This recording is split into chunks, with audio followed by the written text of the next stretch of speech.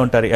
దీన్ని ఏ విధంగా విశ్లేషిస్తూ ఉన్నారు? సో మొత్తానికి అభివృద్ధితో కూడిన సంక్షేమాన్ని మేము అమలు చేశామని చెప్పారు. దానికి ప్రజలు మొగ్గు చూపుతారు. ఖచ్చితంగా నేను ఎన్నిసార్లు బటన్లు నొక్కాను కాబట్టి రెండు బటన్లు ఖచ్చితంగా వైఎస్ఆర్సీపీకి వేసి నాకు విజయాన్ని అందిస్తారని జగన్ చాలా కాన్ఫిడెంట్గా చెప్పారు. నూట యాభై కంటే ఎక్కువ వస్తాయని.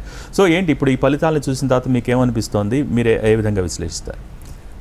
ఆంధ్రాలో ట్రెండ్ చూడండి. ఇంతకుముందు వైసీపీకి ఎన్ని సీట్లు వచ్చాయో సుమారుగా అన్ని సీట్లు ఇప్పుడు టీడీపీ కూటమికి వస్తున్నాయి.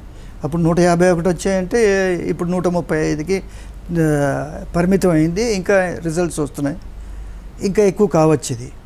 రెండోది ఏమిటంటే ఇప్పుడు అభివృద్ధి సంక్షేమానికి విషయానికి వస్తే జగన్మోహన్ రెడ్డి గారు ఎక్కువగా అభి సంక్షేమం మీదే ఫోకస్ చేసి అభివృద్ధి అనేది దెబ్బతింది. నేను మీకు పాతకాలం సంగతి చెప్తాను. ఇంతకుముందు బడ్జెట్స్లో ఎట్లాగుండేది అంటే సంక్షేమం అంటే సోషల్ వెల్ఫేరే ఉండేది. దాని తర్వాత ఎన్టీ రామారావు వచ్చాక రెండు రూపాయల కిలో బియ్యం వచ్చింది. అట్లాగే అట్లాగే ఈ- సంక్షేమం అనేది రాజశేఖర రెడ్డి ఏది హెల్త్కి ఎక్స్టెండ్ చేశాడు. అట్లాగే అట్లాగే ఎక్కువ వేయడం.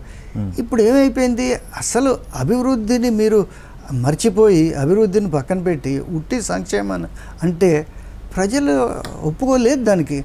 ప్రజలు ఏమన్నారంటే అసలు ఉట్టి సంక్షేమమే చేస్తే మా వచ్చే తరాలందరికీ వాళ్ళకి అభివృద్ధి లేకపోతే వాళ్ళకి ఎట్లాగ చదువులు ఎట్లాగా మిగతా వాళ్ళు ఎట్లా పైకి వస్తారనే దాంతో వాళ్ళు ఈసారి అందువల్లే ఓటేయలేదు.